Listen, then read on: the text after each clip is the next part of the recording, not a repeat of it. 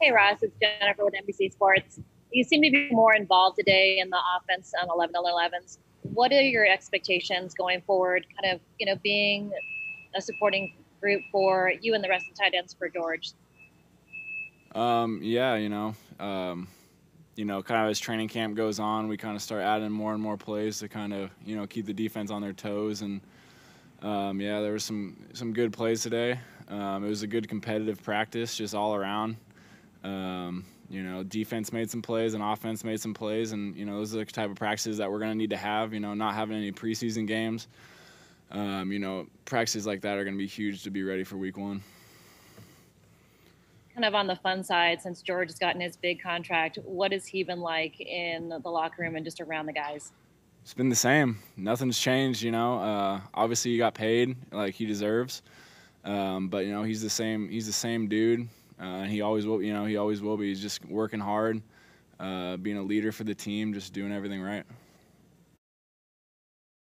You mentioned the uh, the pace of the practice, Ross. Uh, at one point, I think Kyle Shanahan uh, halted the session and, and, talked to you guys. What was that all about? And were you guys going a little bit too hard uh, at that point?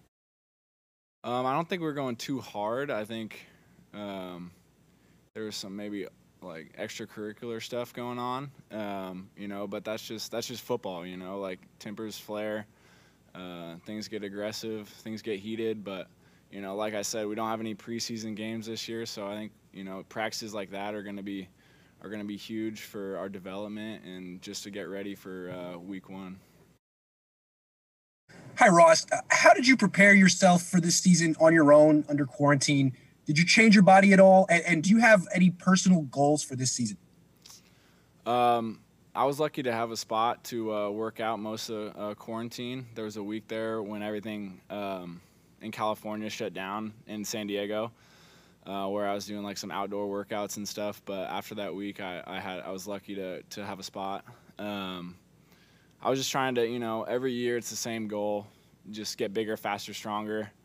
Um, you know, I really try to work on my footwork in the in the run games and in my in my routes. Um, so that was kind of the main thing. And my goal for the season is just kind of the same as it always is. Just you know, whenever the team needs me at whatever position, um, you know, whatever role I need to be, just to you know help the help the team win and help everyone else succeed. You know, that's the that's the main goal.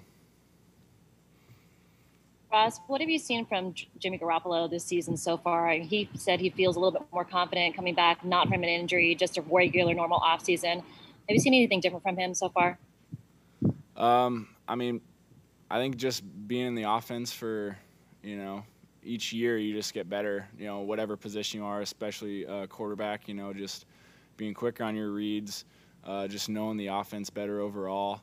Um, you know, but he, he looks great like he did last year. You know, he, he looks strong. He looks his arm looks uh, great. Um, you know, so you know, he, I think it's mainly just being in the offense uh, another year um, and just being quicker with uh, decisions and stuff like that.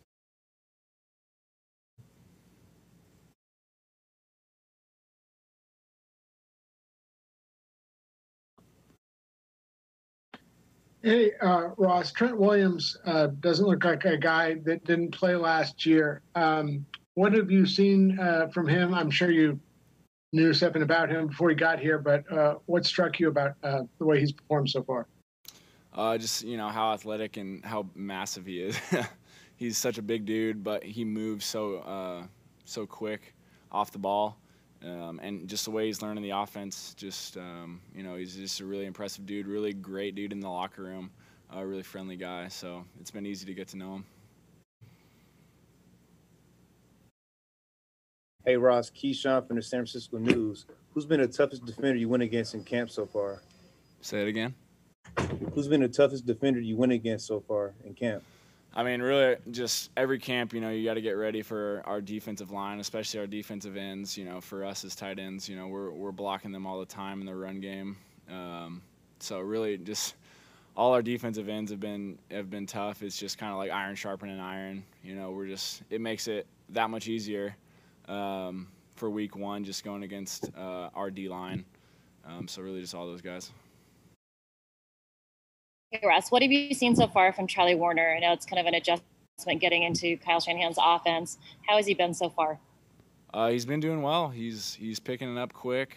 Um, you know, he, he's he's kind of got the big picture down now. He's just working on those uh, little details that Coach Embree really harps on you about. Um, you know, but he's doing really well, uh, running really nice routes. He's blocking really well, um, and he's a really great dude as well.